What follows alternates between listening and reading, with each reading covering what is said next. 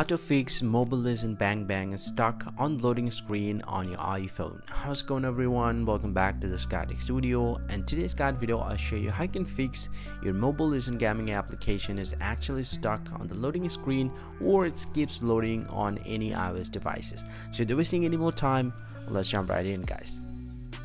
Now to fix the problem, the very first step that you can take, simply go ahead and check your internet connection. Go ahead and open up any browser from your choice and go to any website you wish and see.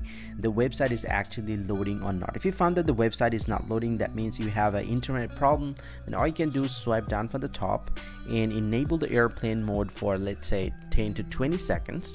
And after that turn it back off. Or you can switch your network Wi-Fi to mobile data. Or if you're using mobile data then switch it to a stable Wi-Fi connection and then see if that fixes your problem or not.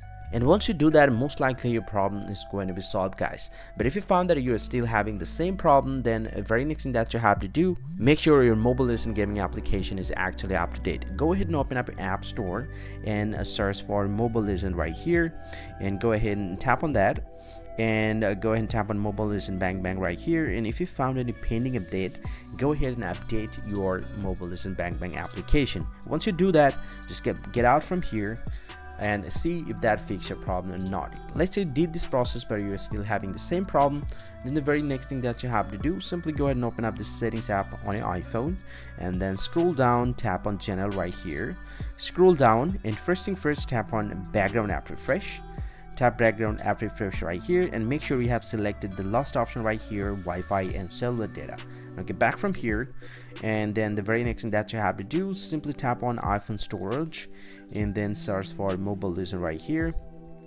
Tap on that and tap on offload app. Tap offload app right here.